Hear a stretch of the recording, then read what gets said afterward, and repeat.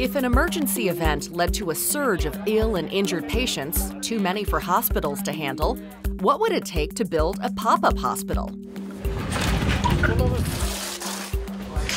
It's a question that was posed by the U.S. Department of Defense. The DoD awarded UC Davis Health a grant for more than $3.5 million to deliver a plan. So, this is what's known as the Modular Surge Facility, or MSF. It's essentially an auxiliary care space that we have to provide um, additional patient care capacity in the event of a patient surge event. UC Davis Health is developing a process to set up a hospital tent in just hours.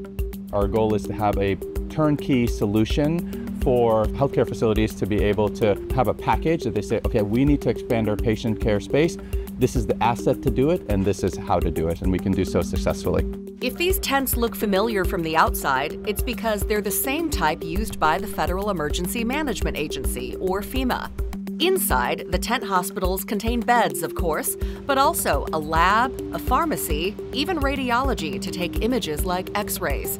Everything that would be needed to handle a sudden surge of patients, particularly those in the military.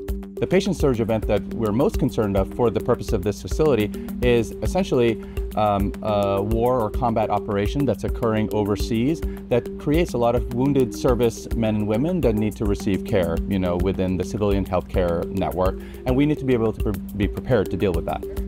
We feel honored to be able to be part of this project. It's a national project that we're working on and that um, really exemplifies our role within our healthcare system and our relationship with our Department of Defense and our military service members.